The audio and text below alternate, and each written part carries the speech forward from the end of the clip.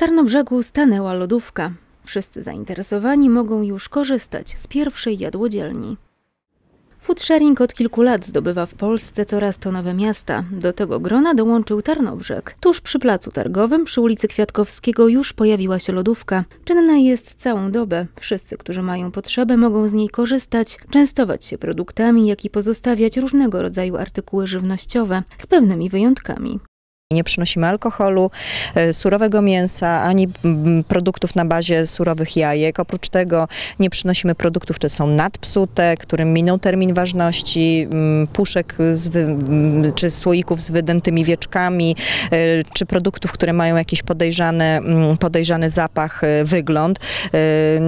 Działajmy instynktownie i przynośmy to, to, co moglibyśmy, z czego byśmy sami skorzystali. Jak mówią pomysłodawczyni jadłodzielni, reprezentantki Tarnobrzeskiej Rady Kobiet, obecnie marnujemy stanowczo za dużo żywności. Zamiast wyrzucać, warto się nią podzielić. Nie jest to jednak miejsce, które mamy zapełniać specjalnie.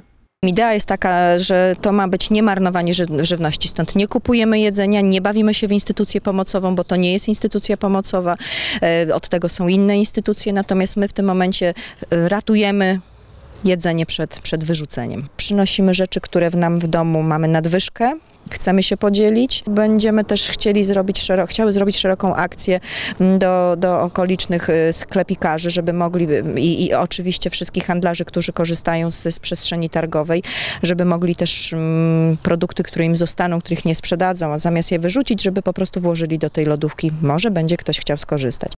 Lodówka objęta jest monitoringiem.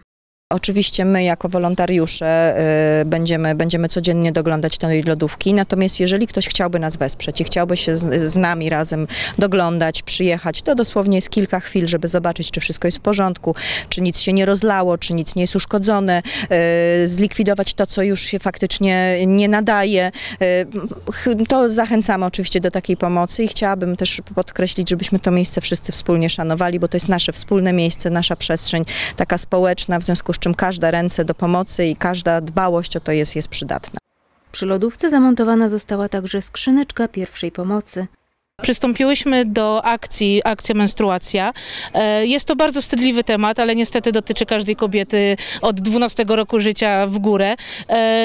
I po prostu będzie przywieszona skrzyneczka, w której będą e, artykuły higieniczne typu e, podpaski, e, wkładki, tampony i każda kobieta, którą spotka w trakcie nawet robienia zakupów, jest taka sytuacja, że po prostu nie będzie miała się czym zabezpieczyć, będzie mogła sobie podejść, wziąć i po prostu skorzystać z tego.